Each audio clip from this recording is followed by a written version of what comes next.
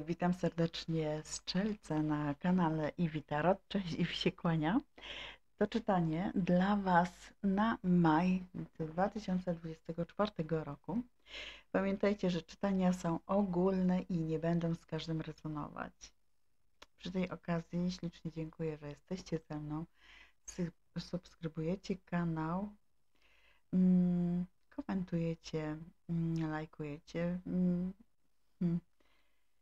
Mm, no to daje dużą siłę, daje wiele pozytywnej energii, którą i Wam oddaję od siebie. Także słuchajcie, to jest dla mnie bardzo, bardzo ważne i pomocne. Dzięki Wam y, ten kanał się rozwija, więc ślicznie dziękuję, że jesteście. A jeżeli jesteś tu pierwszy raz, być może przypadkiem, to i również Ciebie proszę o subskrypcję mojego kanału. Może i Ty coś znajdziesz dla Ciebie. No dobrze, zaczynamy mm, czytanie od mm, karty wyroczni. Zobaczmy, co karta wyroczni będzie chciała powiedzieć czerwcą na maj 2024 rok. Mm.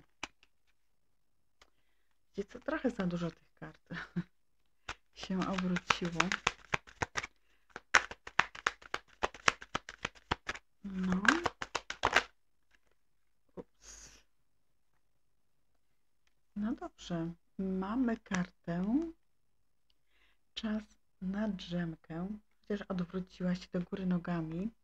I jeszcze tutaj druga wyskoczyła. Tik-tak. Coś się zadziewa tu i teraz.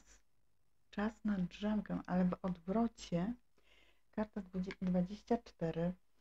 Pozwólcie, że mm, wspomogę się książeczką. Zobaczmy, o co konkretnie chodzi. Karta 24. Hmm. Czas na drzemkę. No. Jesteś człowiekiem, nie robotem. Czy cierpisz na pracoholizm, czy uważasz, że Twoim zadaniem jest pomaganie wszystkim, wspieranie wszystkich i praca, praca, praca, niemal do upadłego? Zaszedłeś tak daleko, jak tylko mogłeś, Pracowałeś ciężko i opiekowałeś się ludźmi i projektami, ale teraz jesteś pustą studnią i nie masz rezerw dla innych ani dla siebie. Nie pozwól, aby Twoje ego wymuszało prędkość, gdy Twoje ciało i duch potrzebują odpoczynku. Zmęczenie wzywa Cię do całkowitego zaprzestania tego, co robisz i zrobienia sobie przerwy. Jeśli tego nie zrobisz, to ta karta może zwiastować chorobę, która będzie skutkiem wycieńczenia. Poczujesz się jak nowonarodzony, jeśli tylko zrobisz sobie przerwę. Zrób to teraz. Hmm. No proszę, karta tik-tak. Ja ją też Wam przeczytam. Zobaczmy, mm, co ma do przekazania. Ale powiem Wam, że tutaj chodzi generalnie o ten czas, że właściwie mm, ten czas nie istnieje, że to, co się ma zadziać, jest w tej chwili coś bezczasowego. Hmm. Ponadczasowość, boski czas, niezmierzony czas. Kiedy ludzie stworzyli czas, wszystko się zmieniło i skurczyło. Ludzie zaczęli patrzeć na życie w sposób linearny, wyobrażając sobie, że przeszłość jest za nami, a przyszłość przed nami. Ale co jeśli tak wcale nie jest? A gdyby wszystko, kreatywność, chaos, piękno i porządek działo się teraz we wspaniałej ponadczasowości? Masz mnóstwo czasu, aby współtworzyć życie, którego pragniesz, więc zrezygnuj harmonogramu Odrzuć potrzebę dostosowania każdej chwili do swoich oczekiwań, wiedząc, że to, co Twoje niby nie zostanie Ci odmówione. Cuda są tu, teraz i zawsze pojawią się, kiedy ich potrzebujesz. Na czas. To jest takie. Mm, teraz odczułam, że generalnie chodzi tutaj o to, że jeżeli odpoczniesz od nadmiernych zajęć, to świat się nie zawali. Tutaj jest czas dla ciebie po to, byś odpoczął. To jest czas właśnie na to. No. Tu i teraz. To znaczy, że niczego nie stracisz. Może obawiasz się, że jeżeli przestaniesz pracować aż tyle, albo czasem komuś odmówisz jakiejś przysługi czy pomocy, to, że ktoś cię przestanie lubić, może przestanie się odzywać, a może zwolnią cię z pracy. To właśnie nie tak. Hmm. Myślę, że jak wrócisz do żywych, że tak powiem, to znowu wszystko zacznie się, się kręcić ale mm, już ty będziesz miał w sobie więcej siły, więcej witalności, by podołać y, temu wszystko, wszystkiemu, co stanie ci na drodze. Przynajmniej ja tak y, odczułam to, co przed chwilą przeczytałam mm, z kart wyroczni.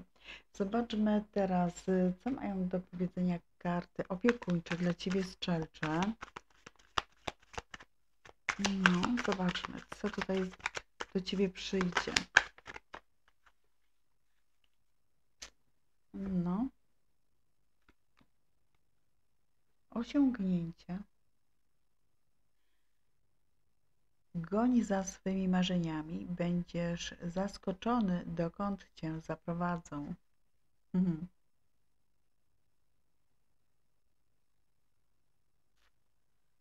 Mm, może to jest czas na to, by przemyśleć, czego tak jeszcze, czego jeszcze pragniesz w życiu osiągnąć. może to czas, by, by docenić te własne osiągnięcia, jakie do tej pory osiągnąłeś. Może nie miałeś czasu, by się tym wszystkim nacieszyć. No, to jest właśnie czas tu i teraz, by to zrobić. No dobra, zobaczmy co Tarot ma do powiedzenia dla Strzelca na maj. Jeszcze tutaj sobie dopowiemy te trzy karty.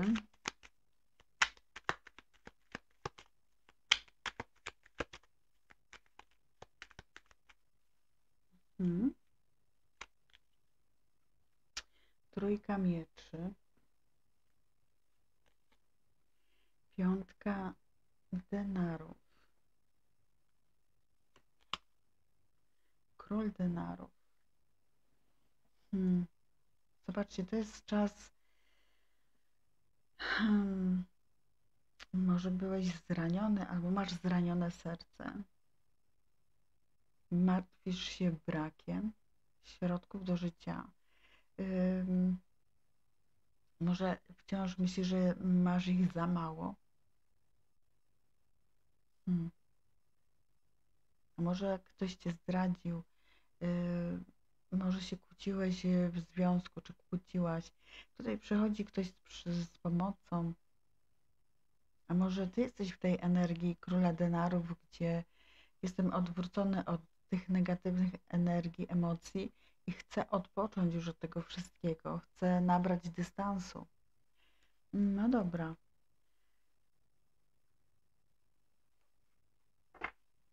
Teraz, teraz karty Tarota.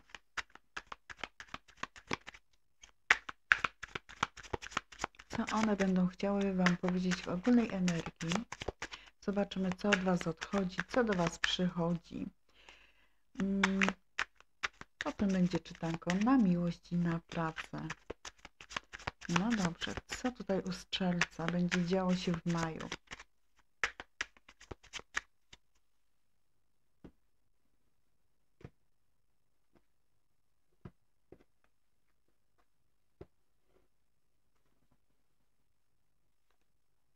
No dobra, dwie karty. Co od Ciebie odchodzi? Co przychodzi? Na co warto zwrócić uwagę w maju? Co może zaszkodzić? Co może pomóc? Jaka niespodzianka, niespodzianka, miła niespodzianka do ciebie przychodzi?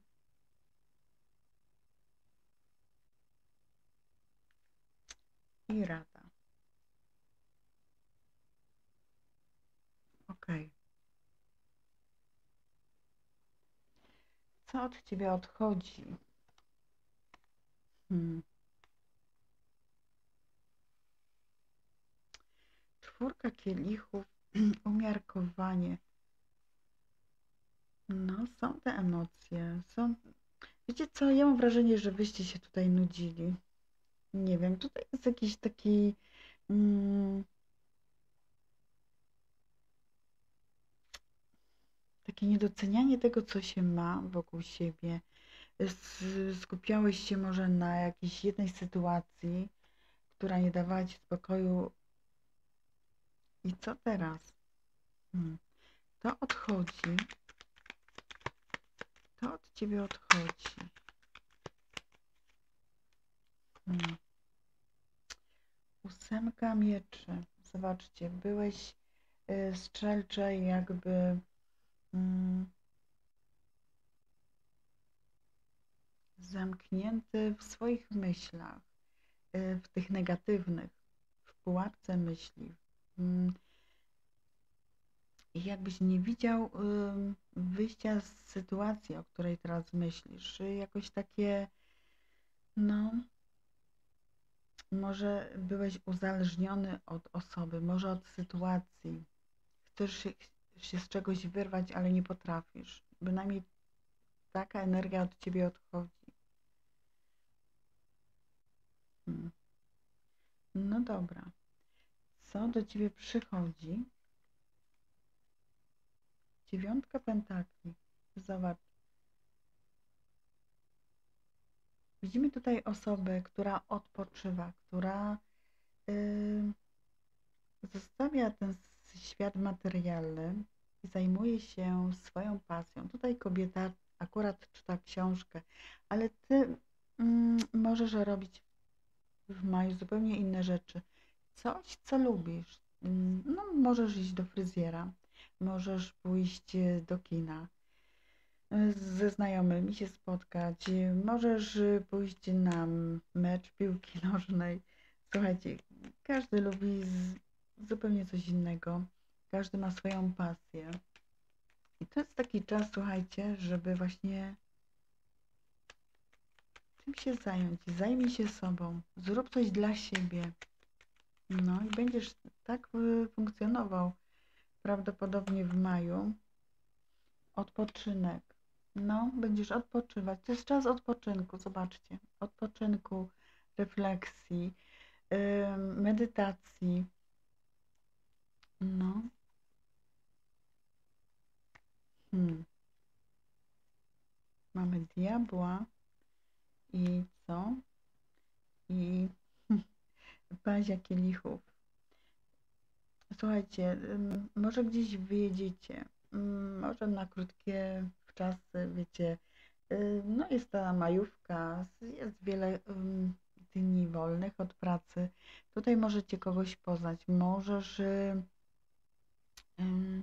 możesz, możesz ty się kimś zafascynować i możesz złożyć propozycję spotkania, albo na odwrót.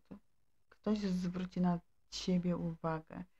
Y, No, diabeł wiecie, że to jest przegra, y, przekraczanie granic, tak? Y, dotąd byłeś no, grzeczny, tak? Poprawny, poprawna, a tutaj przychodzi okazja do tego, by zaszaleć w jakiś sposób. Na co warto zwrócić uwagę? Kochankowie. Kochankowie, no proszę. Co ta karta chce powiedzieć? Myślę, że mm, z, chodzi mm, głównie o emocje, o wybór, jaki przed Tobą stoi odnośnie partnera, partnerki. A może jesteś y, singlem i teraz może kogoś poznajesz i, hmm, i zastanawiasz się, czy wejść w tą relację, czy też nie. Hmm. Paść mieczy. Hmm, rydwan. I król, y, rycerz kielichów. Hmm. No, zwróć uwagę, co się będzie działo podczas jakiejś podróży, wyjazdu. Hmm.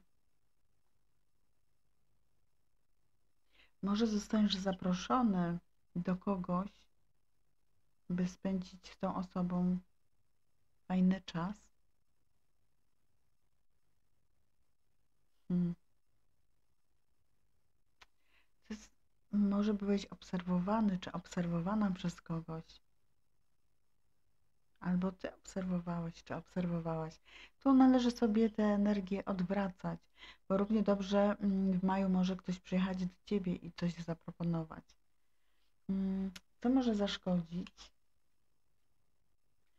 Co może zaszkodzić? Mamy tutaj maga. Co może zaszkodzić? Królowa kielichów.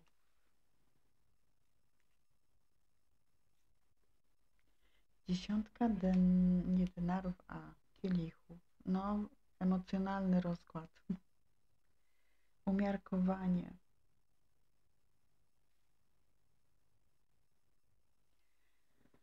Co może zaszkodzić? Mam wrażenie, że tutaj ktoś może wtrącać się w Twoją rodzinę, ktoś będzie chciał postawić na swoim. No, mak to też, no, niejako jak oszust. Ktoś będzie chciał robić ym,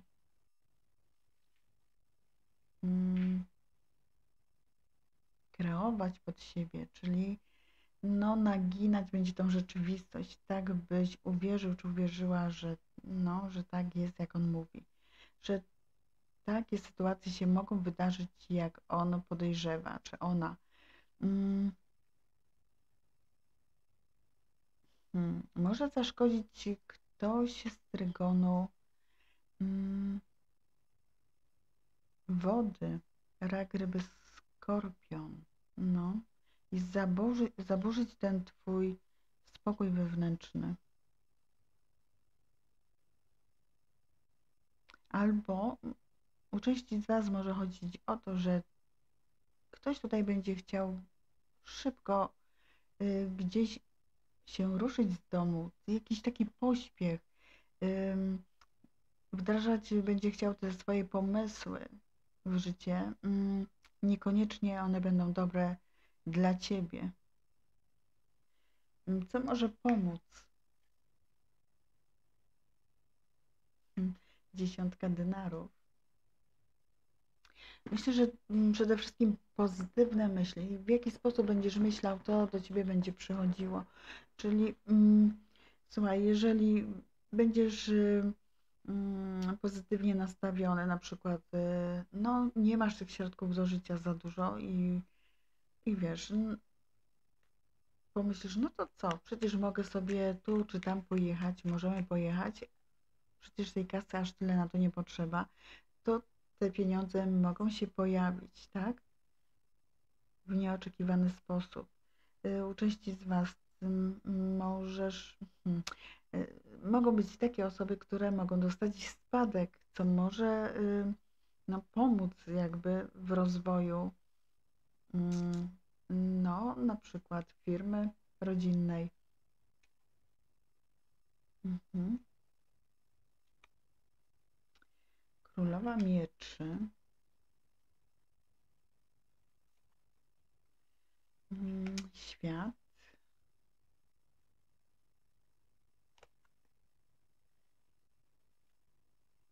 ósemka buław. Hmm. No jest y, kontakt z kimś z zewnątrz. Pomoże ci ktoś w realizacji jakichś planów. Może to być ktoś z zagranicy, może pomóc ci rzeczywiście w jakiś sposób finansowy, może y, dojść do podpisania umowy. Są tutaj rozmowy, są tutaj negocjacje. Jaka niespodzianka cię czeka? Proszę, gwiazda, gwiazdeczka. Gwiazdeczka mówi o spełnieniu marzeń, kochani. Tutaj, no, wszechświat cię może zaskoczyć w sposób bardzo, bardzo pozytywny. Te twoje pragnienia zostaną spełnione. No i każdy strzelec przecież wie, czego tak naprawdę pragnie, co chce zrealizować y, w miesiącu maju. Hmm.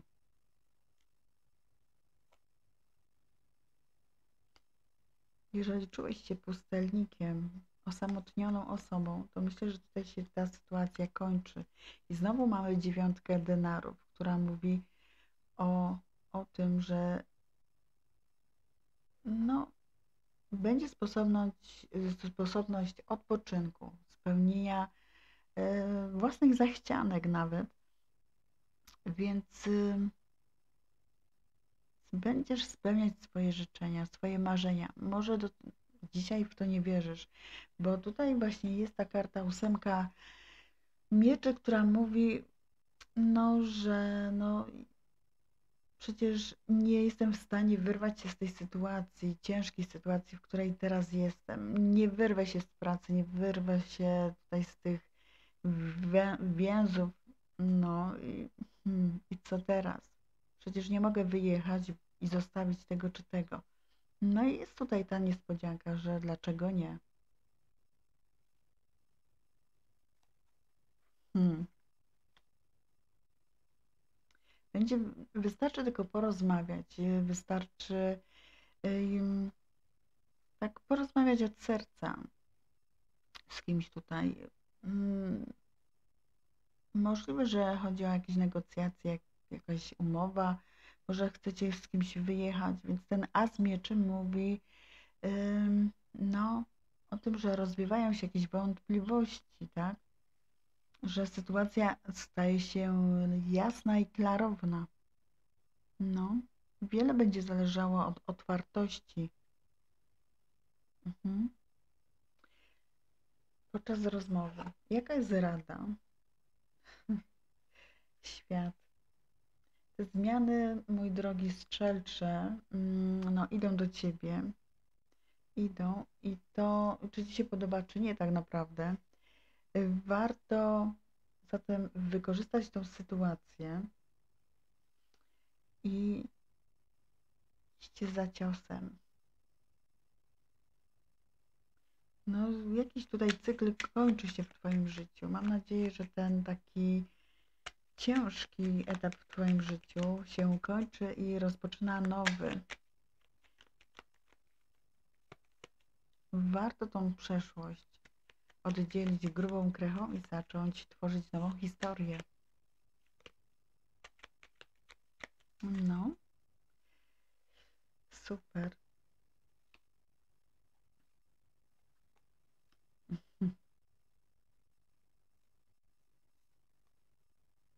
No właśnie. Nie czekaj, aż. Yy, nie czekaj, aż nie wiem, yy, tutaj coś się ktoś się odezwie. Y, warto odpuścić y, te sytuacje, gdzie się z kimś być może kłóciłeś, gdzieś była rywalizacja, coś, co cię męczyło i warto wziąć życie w swoje ręce i zacząć działać, tak? Zobaczmy teraz, co mają aniołki do powiedzenia mm, z czerwcą na maj 2024 rok. Masz może pytanie do aniołków, więc zapraszam.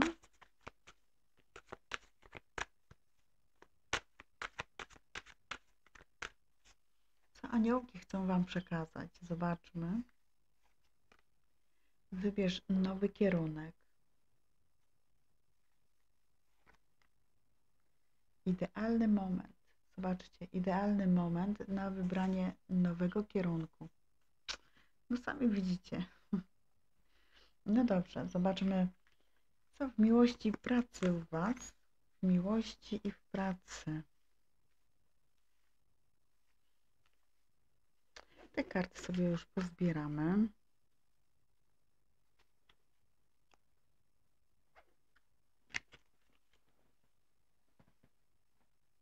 Mhm. Ok. Co w miłości w pracy u Strzelca w maju 2024 roku? Co u Strzelca?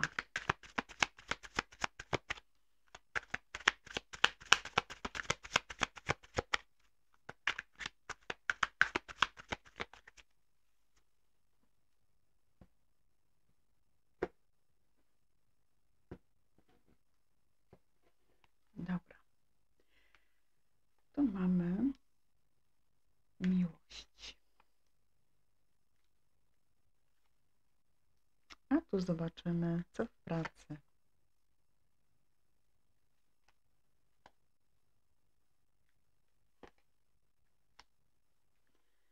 Ok. W jakiej jesteś sytuacji, jeśli chodzi o miłość? Pasi buław. No proszę. Być może kogoś poznałeś, e, czy poznałaś z trygonu ognia. Baran, lew, strzelec. e, Chociaż niekoniecznie. To może być ktoś bardzo energiczny, wesoły, pociągający. Może to być młodsza osoba. Mm. Albo możesz to być ty. No i o cóż tutaj chodzi? Mhm. Tutaj widzę mm, no, spotkania towarzyskie, zabawy, fajne chwile. Takie wiecie, mm, idę za ciosem, za swoim ogniem, za swoim impulsem i działam, tak? Możesz to być ty albo osoba, osoba, którą może poznałeś już, albo poznasz, no.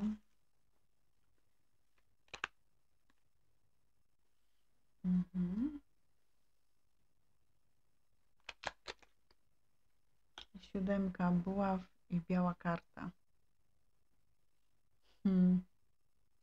To jest jakby, mm, jeżeli to ty jesteś, to, to bronisz swojego wnętrza, siebie. Ja chcę się bawić, ja chcę realizować swoje marzenia, swoje plany. Koniec, kropka, proszę mi nie przeszkadzać. Tak bym to widziała. Mm. Albo może też tak być, że podciąga cię taka osoba i się przed, przed nią bronisz. Bronisz przed tym jej ogniem. Nie chcesz, by cię ten ogień pochłonął. Nie chcesz się poddać tym emocjom, bo może to nie jest w zgodzie jakby z tobą. Na co warto zwrócić uwagę? Pustelnik. Hmm. Tak naprawdę czujesz się osamotniony. Strzelcze. Mm. Na co warto zwrócić uwagę? Na swoją intuicję, na swoją mądrość życiową. Hmm.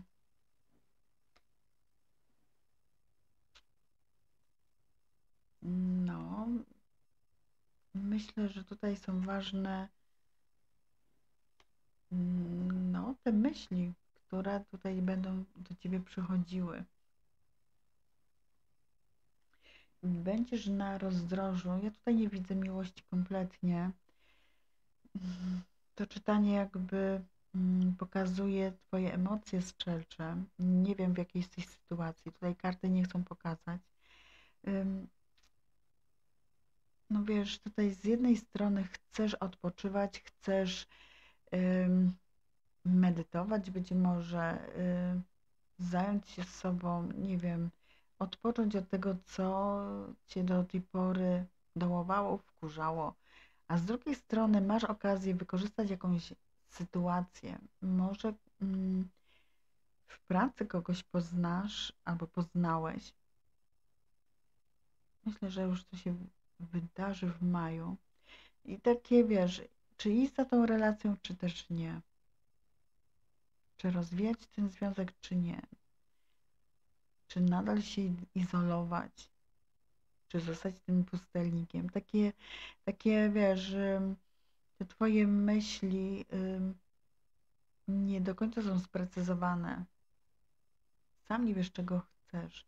Warto zwrócić uwagę właśnie na to swoje wnętrze. Jaka jest rada? Zobaczcie, as denarów. Jeżeli się zastanawiałeś, co zrobić, to tutaj karty mów, mówią idzie za ciosem, idzie za tą okazją, która do Ciebie przychodzi. Być może mm, poznałeś kogoś w pracy, yy, może macie wspólny projekt jakiś, nie wiem, tutaj coś zaczyna iskrzyć być może. Yy. No. Szóstka denarów, dziesiątka denarów. To czytanie powinno być na pracę, naprawdę. Ale tak poważnie, to ja mam wrażenie, że nawet jeśli chodzi o pracę, to tutaj w pracy możesz rzeczywiście kogoś poznać. Ktoś może pomóc tobie, ty komuś.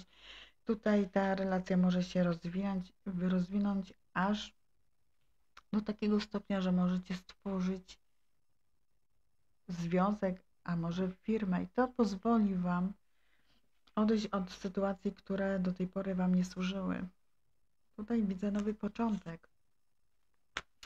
No dobra, zobaczymy więc, co mają aniołki do powiedzenia, jeśli chodzi o miłość, kochani. Jeżeli macie pytanie do nich, więc zapraszam.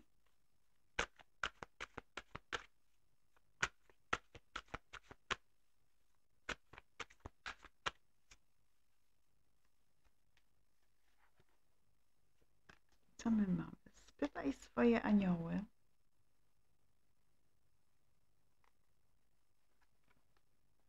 Poproś innych o wsparcie. Poproś innych o wsparcie. No proszę. Hmm. No dobrze. Teraz zobaczmy, co w pracy w takim razie. A w pracy, w jakiej jesteś sytuacji? Mamy dziesiątkę mieczy. Mm, coś się posypało. Część z Was może myśleć o emeryturze, część może się zwolniła z pracy, y, a może zamknęli firmę, w której pracowałeś, czy pracowałaś. Mm, no sama się zwolniłaś, czy sam się zwolniłeś, nie wiem. Tutaj już gorzej być nie może, ale ta energia pozwala rozpocząć coś na nowo, budować. Dziesiątka mieczy w pracy. O co tutaj chodzi? No, może się pokaże. Dwójka buław. Mm, siódemka denarów. Ósemka buław. Hmm. Wiesz, ja mam takie wrażenie, że mm, Możliwe, że jesteś na jakimś zwolnieniu w domu. Y, no zwolnieniu albo albo sam się zwolniłeś. Nie wiem. W każdym razie tutaj widzę osobę, która czeka na efekt swoich działań. Po jakichś rozmowach i tak się zastanawiasz, czy zostać w tej firmie, w której jesteś, albo pogodzić jakieś sytuacje, bo warto by pojechać, coś załatwić, mm, czy no, tkwić tutaj, gdzie już właściwie się nie czujesz. Takie oczekiwanie na efekt swoich działań, a w międzyczasie jeszcze są rozmowy, jeszcze z kimś y, coś uzgadniasz. Hmm. Na co warto zwrócić uwagę?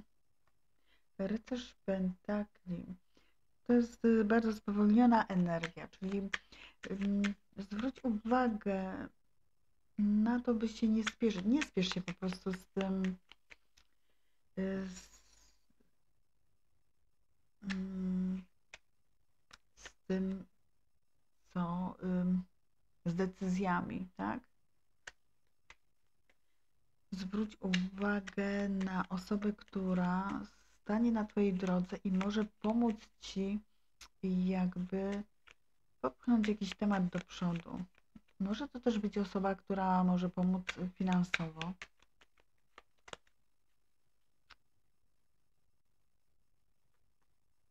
Mhm. Trójka buław. Dziewiątka mieczy. I wisielec. Hmm. Wiesz co? No, to tak wygląda, jakbyś ty będziesz, ty będziesz czuł, czy czuła, że ta osoba może pomóc ci w jakiejś kwestii e, finansowej, tak jak wcześniej powiedziałam, e, w realizacji jakichś planów zawodowych, co pozwoli ci jakby rozpocząć e, te nowe działania w jakimś nowym kierunku. Y, może to być praca za granicą, w innym mieście, może jakaś delegacja, y, a nawet przeprowadzka, ale ja tu widzę lęki z Twojej strony. Masz lęk, obawiasz się tych zmian. Więc warto przystanąć, warto jakby y, tutaj mm, przyjrzeć się sytuacji z innej perspektywy. Nie spiesz się. Totalnie tutaj karty mówią nie spiesz się. Zwróć uwagę na swoje myśli. Warto je wyleczyć. Hmm. Jaka jest rada? Dziewiątka kielichów. Zobacz. Dziewiątka kielichów. Weź na luz, po prostu. Hmm. Pomyśl o sobie, zabaw się.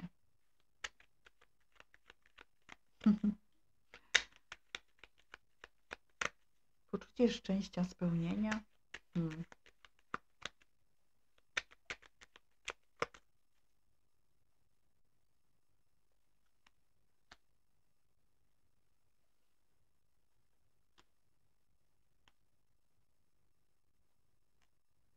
Hmm. No, powiedziałabym nawet, y, byś się spotkał tutaj z kimś y, z trygonu ognia. I ta osoba może wyrwać się z tej nudy, z tej nostalgii.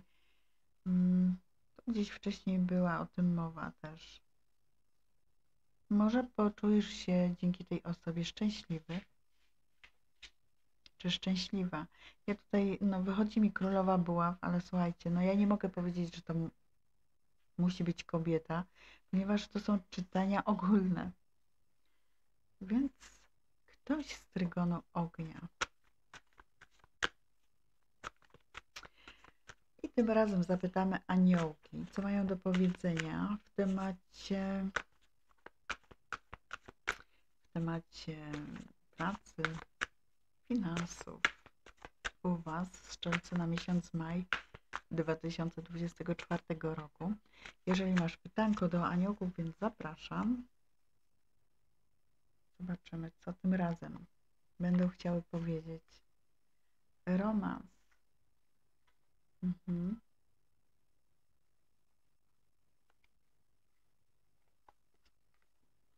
Idealny moment na romans. Ojejku. Zobaczcie, jak te czytania się uzupełniają ze sobą. Miłość, moż, możliwe, że miłość spotkasz w pracy. Kochani, ja Wam życzę jak najlepiej. Mam nadzieję, że pomogłam Wam w jakiś sposób y, i trzymajcie się. Do następnego razu.